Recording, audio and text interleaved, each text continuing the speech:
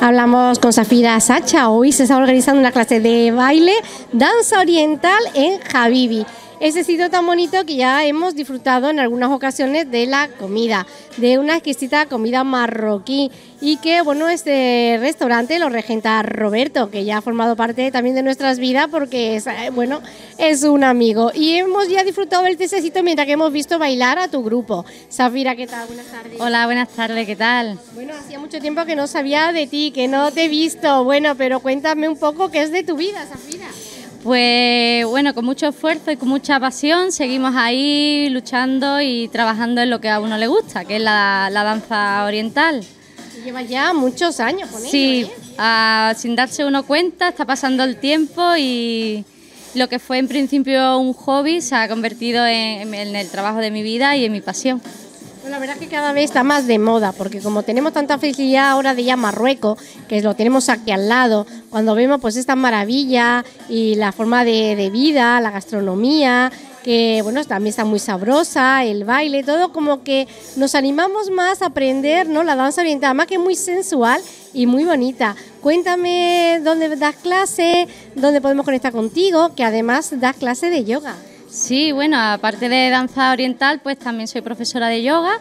Eh, doy por toda la Costa del Sol lo que son las clases en diversos puntos. Eh, si, bueno, si quieren saber un poquito más de mí, pues zafirasasha.com, ahí está todo el teléfono, la información la página web. Y sí que es cierto, se está poniendo cada vez más de moda porque es muy una, una forma de, de conexión contigo misma, ¿no? Con, te, lleva la música hacia, hacia adentro, te estás moviendo todo el cuerpo, no te estás dando cuenta de una forma muy, muy divertida y muy sana.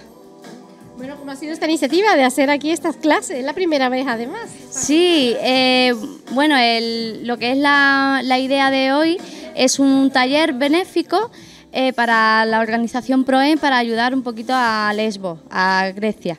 Entonces nos hemos reunido esta tarde aquí con gracias a la danza oriental como forma de, enganche y con disfrutando de los test, de las pastitas y del establecimiento de Roberto tan, tan precioso y tan fantástico. Bueno, es, complicado aprender danza oriental. Eh, ¿Cuáles son los puntos básicos para aprenderla? Que te encante la música, y, que no pienses en un resultado de técnica ni nada, sino que simplemente sientas eh, la pasión y el amor por, por la danza. Es lo que por ejemplo, hemos estado viendo tu grupo bailar, ¿no? Vemos, por ejemplo, que es más movimiento de cadera, más movimiento pérvico. ¿Qué es lo que más eh, del cuerpo? Eh? Sí, lo que destaca un poco más siempre son pues la cadera. Se hace mucho hincapié porque es una danza muy antigua entonces se dice que era mm, para fortalecer lo que es la, fertilidad de la mujer y demás, por eso se trabaja mucho la cadera y el suelo pélvico, ¿no? La pelvis. Los movimientos vienen de ahí y luego del pecho, se mueve todo el cuerpo, pero sí que es cierto que se hace más hincapié en, en la cadera. Bueno, ¿y qué tal ahora que hemos aprendido la teoría? Vamos a la práctica, nos enseña un, un poquito, claro, estupendo. Enhorabuena.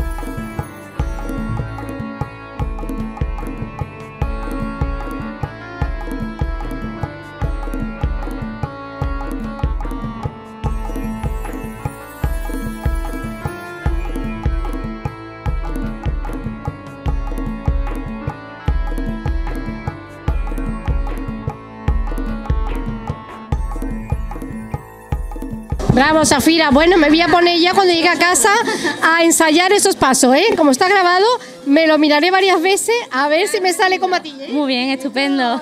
también de mucha práctica y ensayarlo mucho, ¿eh? muchísimas gracias, Elena, por venir y bueno, ya sabemos, ya sabéis dónde estamos, en el Habibi de Marbella, restaurante árabe.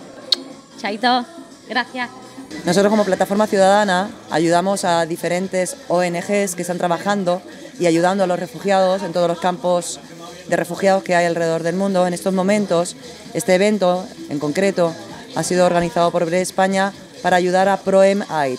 Proem Aid son los valientes bomberos sevillanos, marbellís, de Huelva, de otras provincias andaluzas que se han unido para ayudar en Lesbos, en la isla de Grecia, a los refugiados a que lleguen sanos y salvos a tierra y no sigan muriendo más gente en el mar Mediterráneo.